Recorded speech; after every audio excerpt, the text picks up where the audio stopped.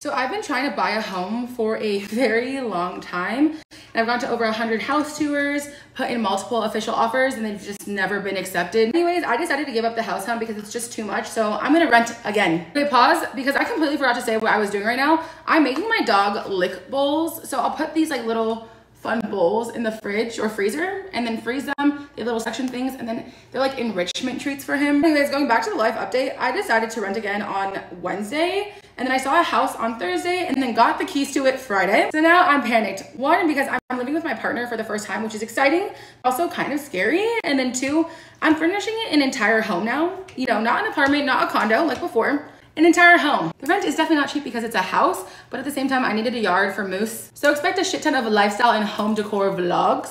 But yeah, if you guys have any advice on living with a partner for the first time or where to buy home decor, let me know. Either way, here's the finished lick bowl. Doesn't she look delicious?